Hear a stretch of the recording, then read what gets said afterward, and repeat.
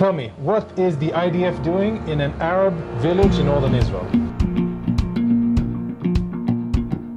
Shalom everyone, Lieutenant Colonel Jonathan here, and we are in a very special location today. We are in a small local council in the northern part of Israel called Dir el-Assad.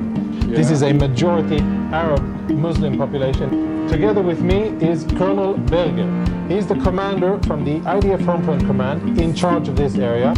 We are working uh, three main efforts. The first one is to take all the sick people out of the communities. Uh, we opened five hotels. We take those sick people at an area, Carlton Hotel.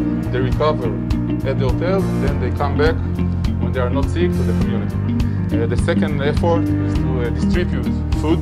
We distribute only here at Deir al-Assad over 2,000 boxes. We are now starting to prepare ourselves for the Ramadan. We understand that we need to bring more food, special food for the Ramadan. The third effort, information. And the main thing that we want, we want them to understand is stay at home. Corona affects everyone, Jewish, Arabs, religious people. So we work together with all those great people from those villages. The IDF is here because we understand that we need to be here and help those in need.